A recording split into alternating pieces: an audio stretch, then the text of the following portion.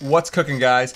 Background noise in your audio clips can be quite annoying, but there's actually a few ways that you can fix it so you can turn something that sounds like this May you embrace one another, but not encircle one into something like this. May you embrace one another, but not encircle one another. Let's get into it. So when you listen to this clip, I'm just going to turn off my music layer.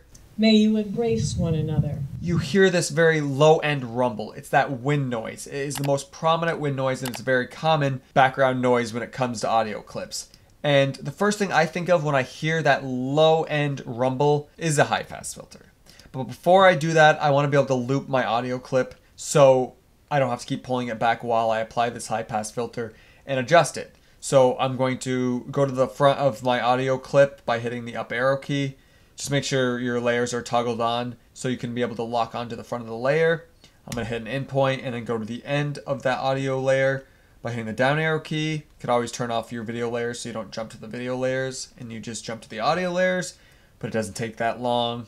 Hit an out point, and now that we have that, to actually loop it, I'm going to go over to this button editor, click this, and I'm going to come up and find my loop playback, grab that, drop it down here, hit OK, and make sure it's toggled on. And when I play my audio clip, One another. May you it automatically jumps to the beginning and it'll just keep looping over and over so you don't have to keep pulling it back.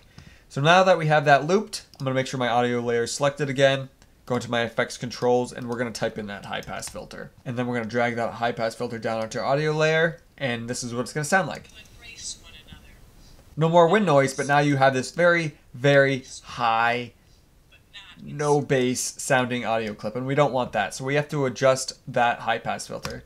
So go into our effects controls, and on our high pass, you don't want to go higher because the higher you go, you're going to lose your audio completely.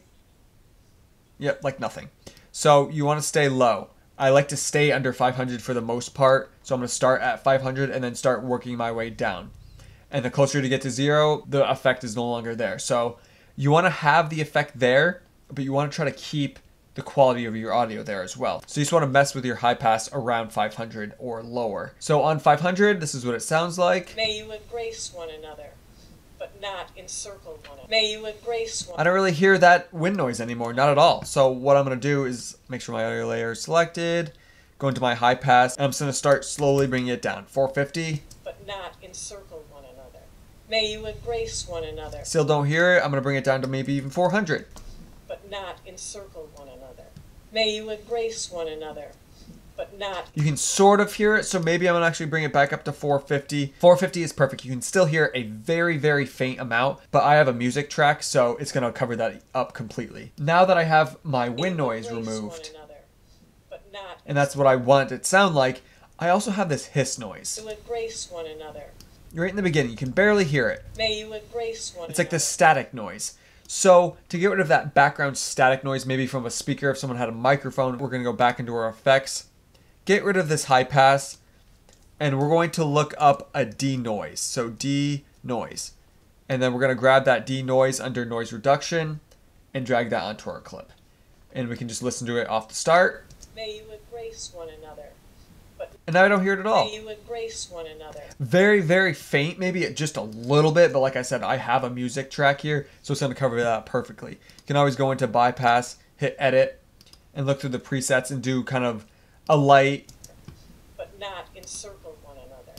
May you or maybe a heavy and then you have your processing focus here you can always just mess with some of these this is default you can mess with the lower frequencies the higher frequencies or mid frequencies or lower and higher frequencies whatever you want to choose you can kind of just mess with all those and adjust the amount as well then once you have it how you want it you could always just toggle it on and off to actually hear the difference Encircle one another.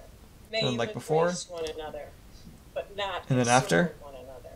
May you embrace one another. kind of just brought down that hiss noise a little bit you can always adjust the amount a little bit i might just adjust it a little bit play it but again one another. May you embrace one another. And then turn it off what it sounded like before. May you embrace one another. Yeah, that definitely helps a lot. So after you're done that, all you have to do is you just close it and it's all set. And you can listen to it from the beginning with both your effects. May you embrace one another, but not encircle one another. And that sounds so much better. I don't really have that hiss anymore. I don't have that wind noise, that low rumble anymore. It sounds a lot cleaner. And what you can always do is just toggle off both your effects and hear what it sounded like before. May you embrace one another, but not encircle one another. May, And then what it sounds like now. may you embrace one another. So much better. So good. Now that we have that all set, I'm going to zoom out a little bit, turn off my loop, and I'm also going to just gonna clear my in and out points. Turn back on my music track and let's check it out compared to our other audio clips. Out black.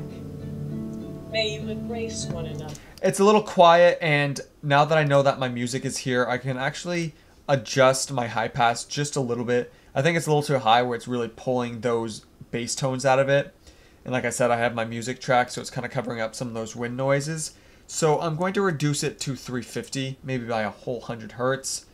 And then I'm also going to hit G on my keyboard and normalize my max peaks to negative 8, just so it's a little louder and kind of matches all my other clips. Let's try that. but not out of lack. May you embrace one another, but not encircle. Yeah, that sounds so much better. You just don't hear any of that rumble anymore, any of that hiss. It sounds so much better. And it was just two effects. Alright guys, that's all I got for you for this video. A couple of audio effects that will remove background noise in your audio clips. Super easy and it is game changing. As always, make sure you like, subscribe, and ring that bell. And if some of these effects really helped you, let me know in the comments. Other than that, I'll see you in the next one, guys. Peace.